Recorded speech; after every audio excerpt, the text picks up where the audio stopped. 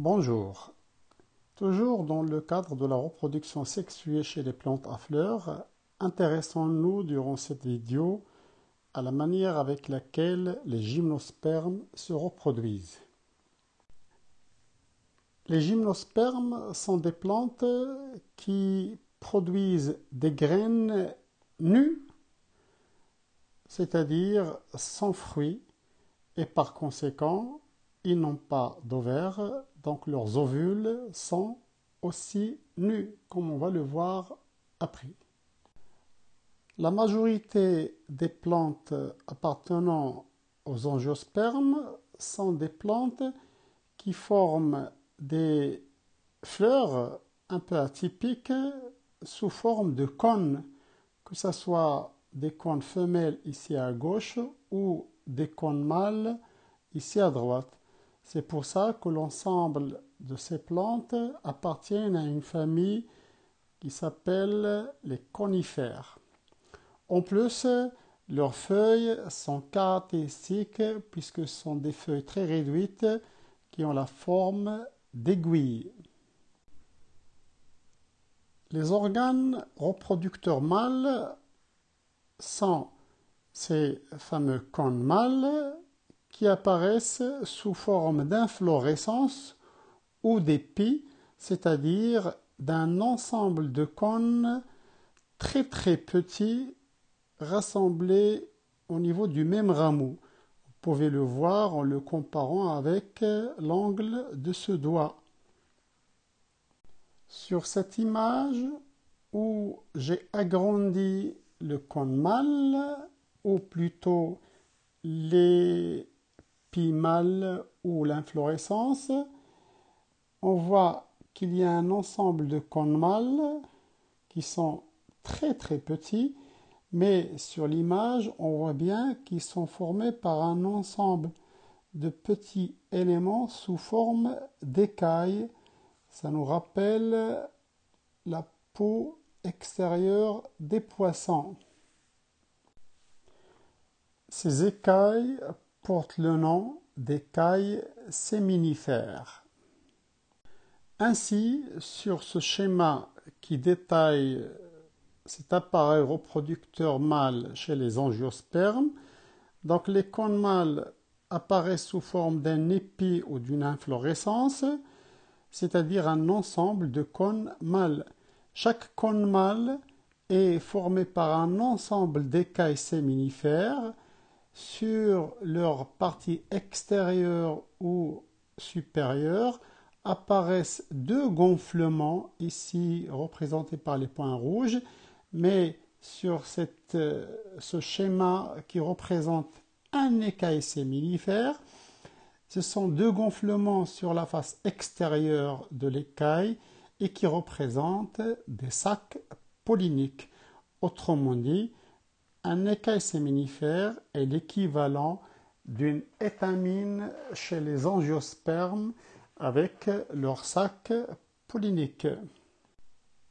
Au niveau de ces sacs polliniques se formeront les grains de pollen dans l'image qui la représente montre bien, comme chez les angiospermes, une grande cellule avec son noyau dans laquelle on trouve une petite cellule avec elle aussi son noyau. La grande cellule, bien sûr, c'est la cellule végétative et la petite cellule qui est à l'intérieur, c'est la cellule génératrice. Et aussi, on voit bien cette intine et cette exine qui entoure ces deux cellules ou ces structures cellulaires. Et on voit bien que l'intine et l'exine à ce niveau-là sont collés. Par contre, à ce niveau-là, on voit bien que l'exine est découlée de l'intine pour former une sorte d'espace ou de boursouflure rempli d'air et qui formera une caractéristique des grains de pollen des angiospermes qui représentent ce qu'on appelle les ballonnets.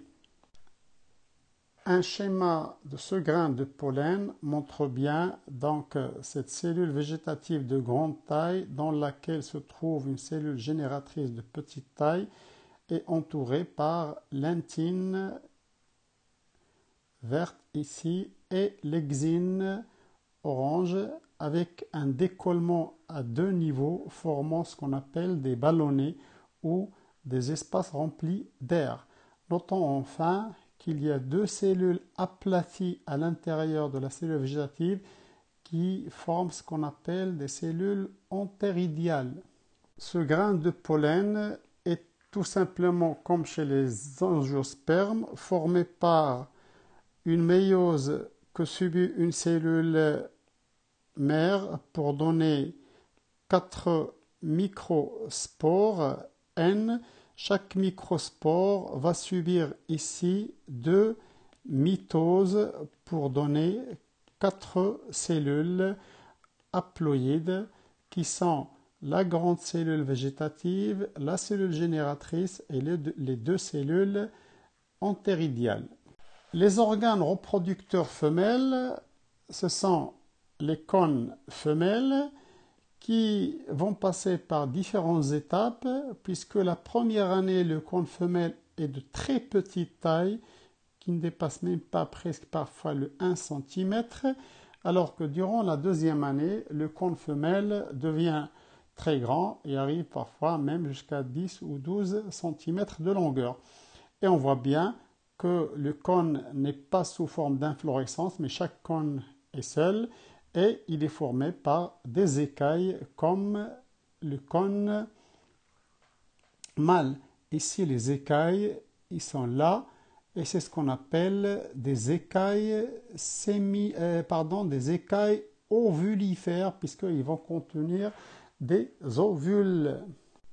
Ce schéma détaille ce cône femelle et ses écailles ovulifères puisque on voit qu'un cône femelle est formé par un ensemble d'écailles ovulifères et ces écailles ovulifères comportent deux ovules nus sans ovaires à l'intérieur puisqu'ils doivent être protégés vu qu'ils sont fragiles et ces ovules sont formés par, comme chez les angiospermes, des teguments qui entourent un tissu nourricier endosperme ou nucelle au milieu duquel on va trouver une cellule mère qui va se différencier pour donner les, gamètes femelles ou une structure qui nous rappelle le sac embryonnaire.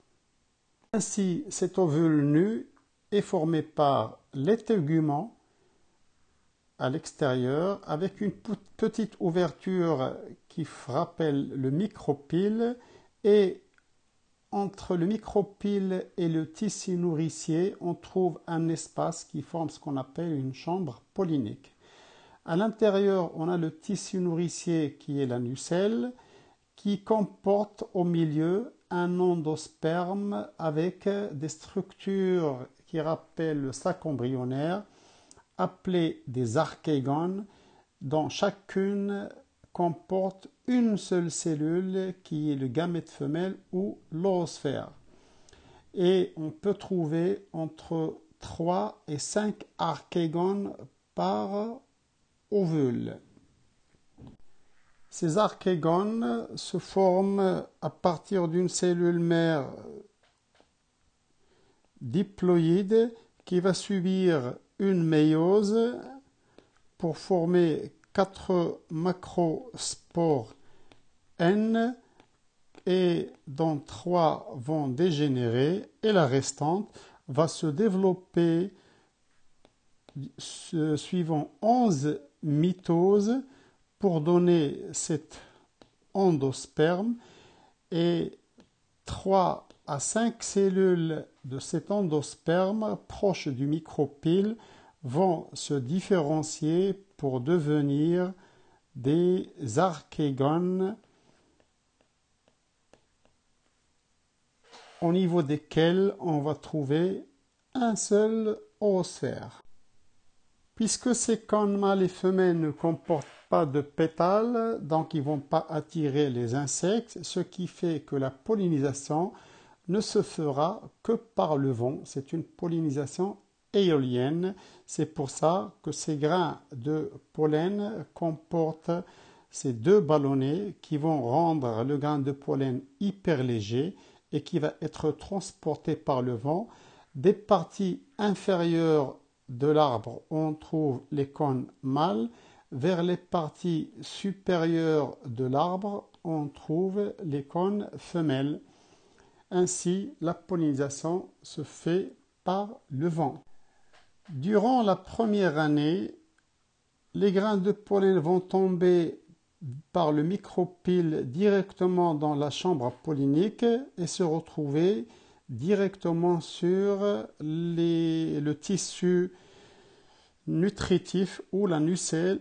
Ils vont commencer, comme les angiospermes, à germer. Sauf que durant cette première année, dans l'endosperme, il n'y a pas encore d'archégone et de gamètes femelles, ce qui fait que la germination des grains de pollen s'arrêtera durant la première année et ne reprendra que durant la deuxième année, puisque elle verra durant cette année la formation des archégones dans lesquels il y aura le sac, euh, pardon, la, le gamète femelle ou l'orosphère la germination continuera et durant cette germination, comme chez les angiospermes, la cellule euh, germinatrice va se diviser par mitose pour donner deux gamètes mâles ou deux entérozoïdes.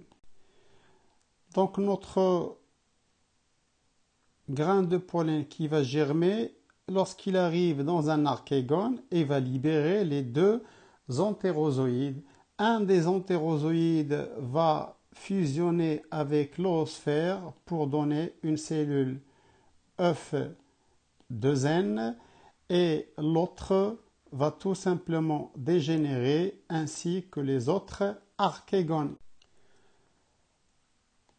La cellule œuf se développera pour devenir un embryon et les téguments vont durcir et le micropyle se fermera et l'ovule deviendra une graine. Et puisqu'il n'y aura pas, il n'y a pas d'ovaire, les graines seront nues et ils développeront des ailes sous forme d'une structure très mince. On parle de graines ailées, vu que ces graines, lorsqu'ils vont tomber, avec cette aile et vont tout simplement tournoyer dans l'air et seront transportés très loin de l'arbre mère pour être disséminés. Une fois que les conditions seront favorables, la graine va germer pour donner un nouvel individu. Merci de votre attention et à bientôt.